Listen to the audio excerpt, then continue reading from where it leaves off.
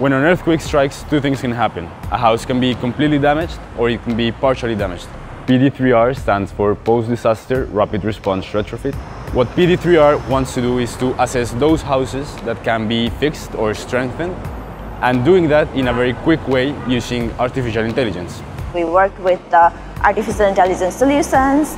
We dealt with the data that was provided by the rest of our team members. We used the IBM Watson engine, the visual recognition engine, to train our classifier. We also used the Watson API to build a mobile application where homeowners can upload those images and then the classifier would be deployed. Where I come from, Nepal, it's very vulnerable to earthquakes. My family was affected and they experienced this uh, earthquake and multiple aftershocks, which was very traumatic experience. Because of this, everybody over there live in constant fear of how our country would be able to respond to the next a big disaster. I believe Call for Code it's a very good opportunity to scale things up and to scale uh, good ideas.